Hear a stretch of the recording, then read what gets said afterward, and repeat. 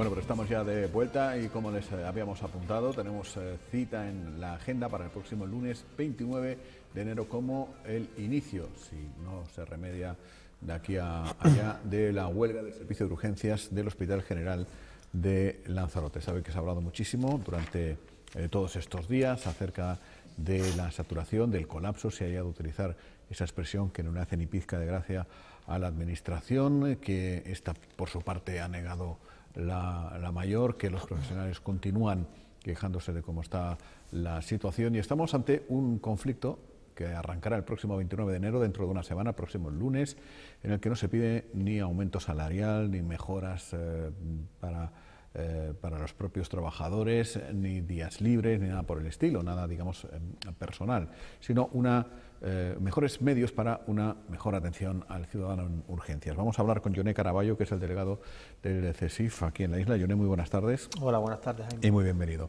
Gracias. Antes que nada, ya está eh, eh, convocada la, huelga a partir de, para el partido del próximo día 29. Sí, ya hemos presentado el preaviso de huelga. Hubo un error que tuvimos que subsanar, un requerimiento del Servicio Canal de Salud, ya lo hemos subsanado y ahora en, el día de hoy, eh, a las 2 de la tarde, nos, reunimos con el gerente, con el comité de huelga al que también pertenezco y, a ver, me imagino que será para, para, postular ya lo que son los servicios mínimos del servicio. Eh, todos, todos los avisos de, huelga tienen que estar fundamentados, ¿no? Tienen que tener una, un, porqué. ¿Cuáles son eh, las cuestiones que aducen ustedes para ir a la huelga?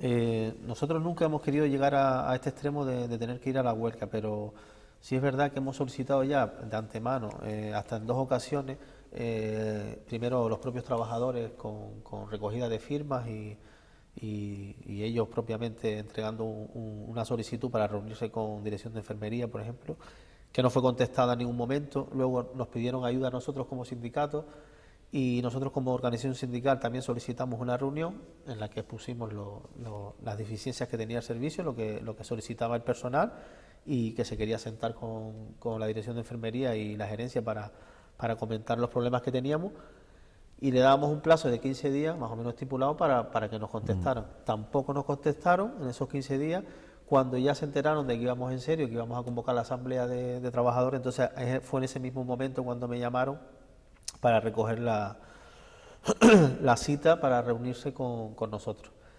Entonces, claro, pues el mismo día de la asamblea expusimos ante los trabajadores pues la opción que nos había dado el gerente de reunirnos solo un trabajador del servicio, solo uno con toda la administración, para pues nosotros expresar lo, que veíamos. Entonces no lo veíamos justo ni lo veíamos eh, proporcional y entonces creamos un comité de huelga y hoy, como te decía, pues tenemos reunión con, con el gerente. Vamos a ver, no queremos llegar a la huelga, nosotros lo que queremos, como tú bien decías Jaime, ni queremos mejora salarial, ni queremos más días libres, ni queremos mejora en el turno. Lo único que queremos es dar calidad asistencial. Somos profesionales sanitarios, los servicios básicos, salud y educación son esenciales, y más cuando es un sistema público.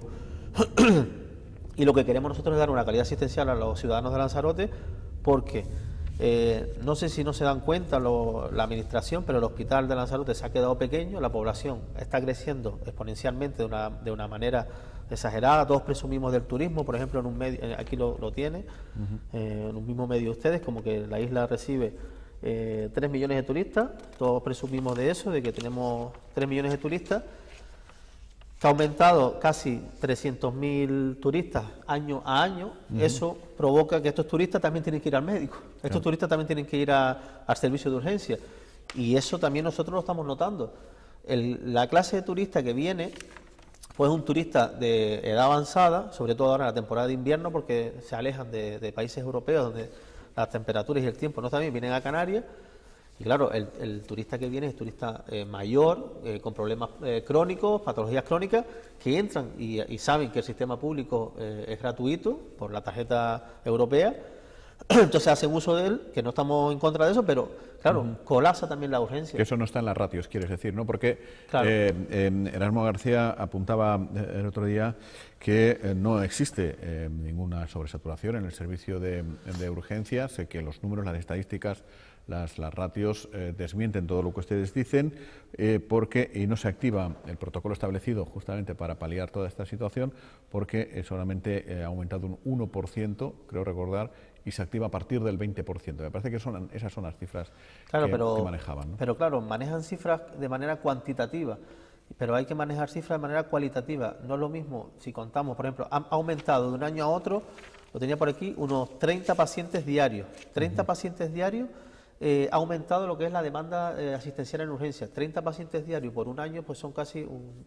pues sí, es una, eh, es una cifra bastante elevada, pero no tenemos que mirarlo de manera cuantitativa, sino cualitativa. No es lo mismo que, te, que tú contabilices un paciente que viene por una urgencia de tobillo, que eso se le trata rápido y se va, que a un paciente, por ejemplo, un extranjero que viene en un crucero, que viene con una patología crónica ya, hace una insuficiencia cardíaca y tiene que estar en urgencia 12, 12 48 horas y las pruebas que se le tienen que hacer y la demanda asistencial no es la misma que una urgencia de tobillo. No, se pierde, vamos, si, si, viene uno en crucero pierde el barco. El, sí, sí, algo lo pierde. El de salida, eso está claro, pero em, eh, cuéntame, eh, ¿qué piden exactamente? Porque todo eso se tiene que cuantificar. Otro médico, 10 enfermeras más, 5 eh, camas más, dos camilleros. ¿Qué piden exactamente? Nosotros lo que pedimos es, mira, hay un área en urgencia, Jaime, siempre lo he dicho, hay, eh, urgencia cuando se hizo hace 8 o 9 años la obra, eh, el gerente dice que, esa zona de urgencia no pertenece a urgencia, pero bueno, cualquiera que vaya a urgencia, cualquier trabajador que trabajamos allí, yo que trabajo en urgencia, urgencia tiene tres áreas. Un área externa, donde se atienden las patologías más, leves, las urgencias más leves, que, donde está la sala grande de espera, están las consultas médicas. Luego hay, hay una serie de camas, unos boxes, que se utilizan también pues, para pacientes que tienen que estar unas horas con medicación y son altados. ¿no? Y luego hay una zona interna que es observación, que es una zona bastante grande, amplia, en la cual se está utilizando solo el 50%, la mitad. En su día, cuando se hizo la obra, que el señor gerente no estaba en la isla, cuando se hizo la obra, esa zona de urgencia pues se diseñó para cuando hubiera un crecimiento exponencial de la isla, una demanda, pues esa zona se adhiriera al servicio de urgencia y se abriera con, toda la, con todo el personal que, que debería tener. ¿no? Entonces, ha pasado ya nueve años, hemos visto cómo va aumentando la población eh, de derecho y aparte la flotante, y lo que nosotros solicitamos y solamente, ni lo que te decía, es que esa zona de urgencia eh, de observación, el otro 50% que tiene nueve camas, se abra. Son nueve camas. ¿Y qué persona llevaría aparejado esa Pues nosotros solicitamos que debería haber un médico, un enfermero, un auxiliar y un celador. Ya está. Solo tenemos, yo creo que está bastante justificado porque ellos lo que hacen ahora es, como decía el gerente, es un pulmón de, de, urgencia, es un pulmón, pero es que el pulmón ese, estamos viviendo con un pulmón, tenemos que vivir con el otro, porque es que el verano, otros inviernos nos hemos como olvidado, ¿no? Porque ha sido un invierno malo, se abre la parte de atrás que le decimos nosotros, pero es que este verano fue malísimo, porque claro, por el turismo. Entonces venía mucho turismo y esa zona de atrás que nunca la abríamos, ya estamos empezando a abrirla incluso en verano. Entonces todos los años nos reunimos, nos dicen, nos cuentan que sí, que vamos a ver, vamos a mejorar, pero ya este año es que no aguantamos más, porque te digo, porque nos está afectando a nosotros y porque nosotros queremos dar calidad a los pacientes, nosotros nos sentimos eh, frustrados como profesionales, lo que te digo, una compañera que yo le cojo el turno a las 12 a las 8 de la noche después de 12 horas de trabajo y que luego de darme el turno pues se, ponga a llorar diciéndome y yo digo, hombre, ¿qué pasa? que no, ¿Por qué te pones a llorar? no, que no, no he comido en todo el día y tal, y bueno, no has comido y, y aparte es que me siento mal como enfermera de que yo soy muy responsable y, veo que no soy capaz de dar calidad en mis cuidados. Entonces, cuando un profesional sanitario te dice eso, eso es frustración como profesional y eso lo que se traduce es que no estás dando una calidad asistencial. A mí me pasa. Porque en urgencias tienen que aguantar, eh, supongo, pues la lógica impaciencia de los ciudadanos. El que va a urgencias eh, no va a pasar el rato, va porque le, pasa algo más leve o más grave, pero porque le pasa algo. Y si no es, no se siente bien atendido. La eh, figura del sistema somos nosotros. Claro, eh, se producen episodios en los que ustedes tienen que aguantar, eh, digamos, quejas de los pacientes. Nosotros lo entendemos. Cuando hay 5, 6, 7 horas de espera y estás en una sala cerrada y mirando cuatro paredes, nosotros entendemos que, tú te encuentres mal, te encuentres agobiado, te das ganas de salir y, y, lo entendemos. Lo que no entendemos son las faltas de respeto, porque nosotros somos el sistema y ellos no, pero no somos culpables, somos víctimas. Y esta huelga, si la hacemos, no, no queremos ir en contra de, de, los ciudadanos, al revés. Queremos que se unan a nosotros, que reivindiquen con nosotros que se abra esa, e, esa zona de urgencia y que mejoren el personal, porque eso se va a traducir en lo que te digo, en una mejor asistencia para ellos. Nosotros lo que queremos ante esas exigencias que nos hacen los ciudadanos es, pues, nosotros reivindicar a los de arriba de que esto no puede seguir así y que nosotros queremos ayudar a los ciudadanos, pero con esta huelga que no va a perjudicar en nada, porque somos 100% servicios mínimos, porque somos un servicio esencial, pero es una forma de nosotros durante el periodo de huelga, pues, pues, ir con nuestra pegatina, de informar a los pacientes de lo que está pasando y que se unan a nosotros, hagan movilizaciones en la calle, lo que sea, pero que se unan con nosotros y que no, no estamos en contra de ellos. Además, es que la gerencia y, la dirección debería estar con nosotros y exigírselo a su máximo, que es el consejero de sanidad. Oye, mira, necesitamos mejora para nuestra gerencia, para nuestro hospital. Habrá usted esta zona y lo de personal. Creo que la cuantía de dinero que supone aumentar de personal, de dotar de personal esa zona está más que justificada con todo el dinero que, facturamos a, terceros a, los turistas, ¿no? Creo que está más que...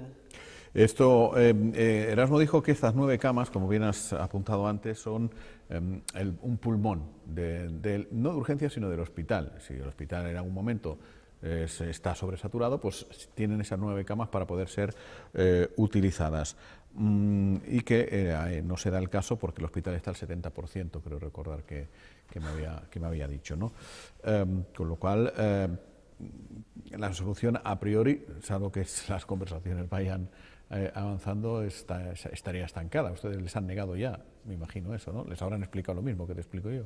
Sí, pero es que yo no sé dónde saca este hombre el 70% y eso, esa cifra, porque el pulmón, como dicen ellos, el pulmón, el pulmón del hospital sería las 42 camas de la planta fantasma que no se han abierto y que la obra finalizaba el, 1 de septiembre y no sabemos qué ha pasado. Eso sería, eh, eso estaba previsto justamente pues para una ampliación y para tener más, más Claro, eso son 42 camas o 44 camas que darían un desahogo al hospital bastante grande. Y esa es una de las causas también que está provocando que el hospital esté colapsado, porque no solo urgencia, la gente de urgencia porque se ha movilizado, pero ya están empezando a movilizarse la gente de la planta, por ejemplo, de medicina interna, que están colapsados, que no tienen eh, tiempo eh, para hacer todos los cuidados a los pacientes y están empezando también a movilizarse porque necesitan de, necesitan de personal.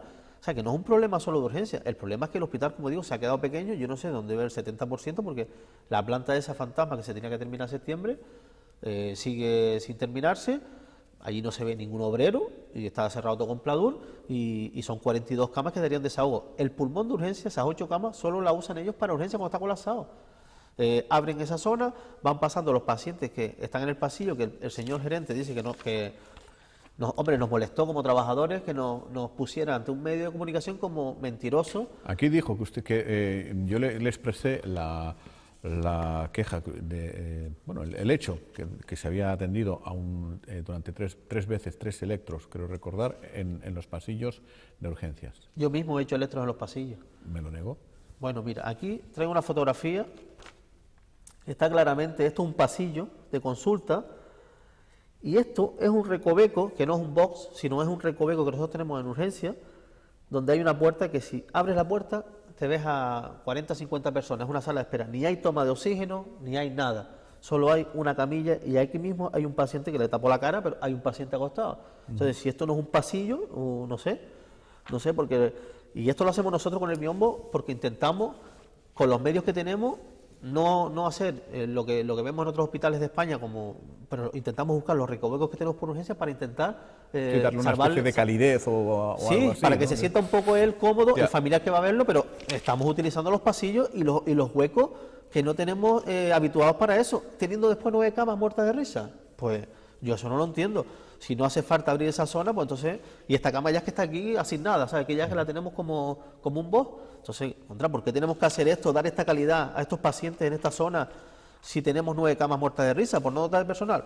O muchas veces, cuando tenemos pacientes, por ejemplo, esta es la sala de parada que se encuentra en la entrada de urgencia. Aquí cuando viene, por ejemplo, un, paro cardíaco, eh, una emergencia vital que hay que, atenderla ya, se, toca el timbre de parada, van los profesionales que estén asignados y atienden la, reanimación. Muchas veces nos vemos a pacientes que no tenemos dónde acostarlo físicamente, porque yo, por ejemplo, si estoy en triaje como enfermero, Jaime, a mí me da igual, si yo, un paciente necesita una cama y yo tengo una cama, lo voy a acostar en la cama y lo voy a poner donde sea, pero es que el problema es que no tenemos ni cama. Entonces, los dejamos ahí sentados en sillas de ruedas hasta que podamos tener una cama libre y poder acostarlo. Mientras el paciente está sufriendo dolor, está incómodo.